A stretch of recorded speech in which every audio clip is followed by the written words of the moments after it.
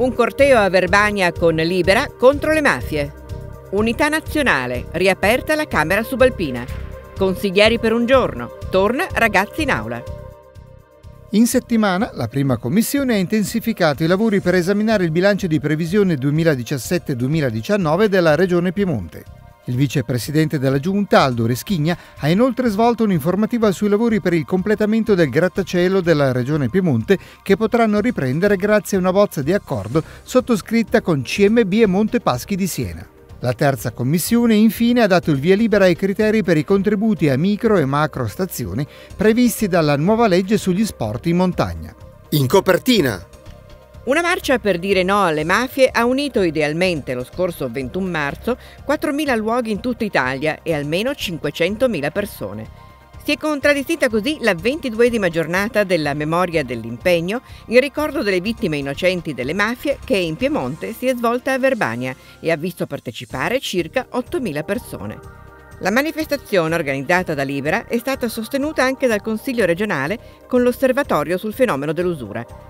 Hanno partecipato i consiglieri Giorgio Bertola, delegato all'osservatorio, e Domenico Rossi, che si sono avvicendati sul palco con il vicepresidente della giunta regionale Aldo Reschigna, l'ex procuratore della Repubblica Giancarlo Caselli e altri esponenti delle istituzioni e della società civile per leggere i nomi delle quasi 900 vittime delle mafie.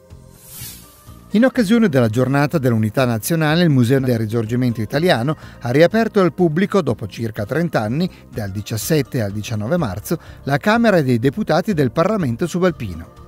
L'iniziativa, che ha avuto un'anteprima con la visita delle autorità, è stata patrocinata e sostenuta dal Consiglio regionale del Piemonte.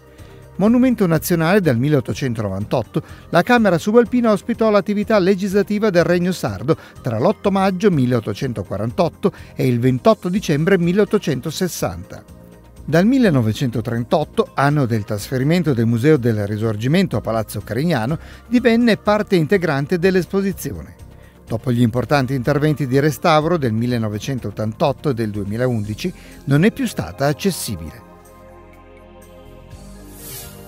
Gli studenti di due scuole superiori del Piemonte hanno partecipato alla prima giornata formativa di Ragazzi in Aula, progetto di educazione civica del Consiglio regionale che permette agli studenti di ideare, scrivere, discutere e votare il testo di una legge. I ragazzi, supportati dai funzionari dei settori legislativo e commissioni, hanno lavorato a una proposta per istituire un piano regionale per prevenire il bullismo giovanile e per valorizzare l'educazione alimentare e il consumo equo e solidale.